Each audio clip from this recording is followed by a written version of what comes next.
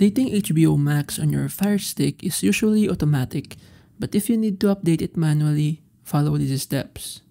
So first, navigate to the settings menu on your Fire Stick. Select applications from the settings menu. Now, find and select manage installed applications. Scroll through the list and find Max, formerly HBO Max. Select uninstall and confirm the uninstallation.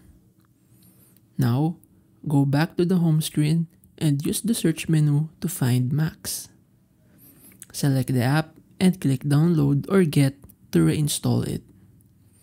By following these steps, you can manually update the HBO Max app on your Fire Stick. This ensures you have the latest version with all the new features and improvements. And ultimately, if you're having problems with your Max app, you should definitely do this.